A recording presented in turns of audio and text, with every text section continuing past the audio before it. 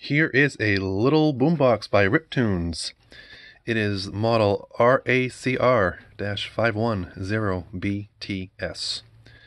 And this is a nice little boombox. And one of my one of the things I noticed right off the bat compared to the other modern boomboxes made is that their meter typically it's a power meter, which means it increases the higher you turn the volume up. This one does not. I can have it completely muted and I mean turn down and push play because I'm playing from a USB. Where is play? There. And as you can see, turn the flashlight off. It's without volume. It doesn't actually affect volume, which is really cool. That's one of the things I like. It's an actual level meter, not a power meter. Anyway, uh, so yeah, it's a little Bluetooth USB SD reader. And so and it also can convert to MP3. Although I've noticed that uh, it's not MP3 as it says on the box. It's actually a WAV file. So I'm not sure if there's like some way to change that or not. But um, the conversion quality is perfect. I was amazed because not even the Ion or the Crosley converter boomboxes convert that well. So, uh, I have a cassette in. And the cassette recording is eh, but I'm not going to play back that. This is just a, whatever I whatever's on it.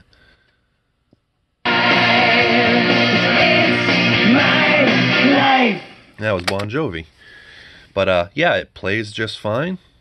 Um, now I'm going to oh, and what's neat about this is you got also have an aux jack that actually it doesn't matter what mode you're on, it will override it. So if you're on the radio, it will mute the radio when you plug in something from the aux. Or if it's you're on Bluetooth, it will cancel that out and go right to aux. It's pretty cool. Um, so let me go to the radio.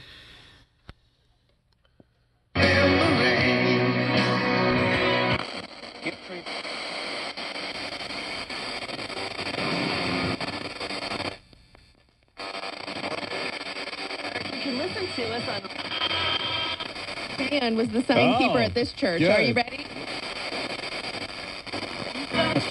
Justin. With less than 1% of down everything.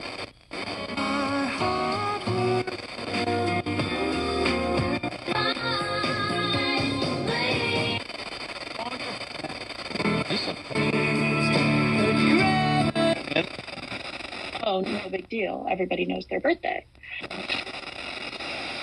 You also got two shortwave bands. So here's shortwave one. I'm sure I'm not going to really pick up anything.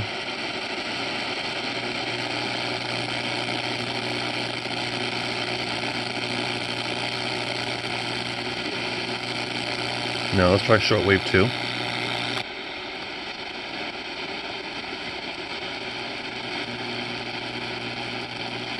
I am scrolling a bit fast, but I'm just trying to see if I can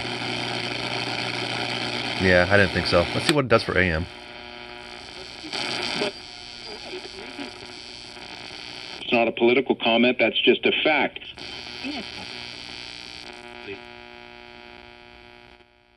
Eh, yeah, not much. I didn't think so. Um, the it is a stereo head and a tape player, so that's also a good thing. Um, so yeah, you just got your volume and your bass control on top. No treble. Um, I can't. I'm not going to show Bluetooth, obviously, because I'm using the phone to record. But this, it will still flash here when you're playing from the USB drive. So, uh,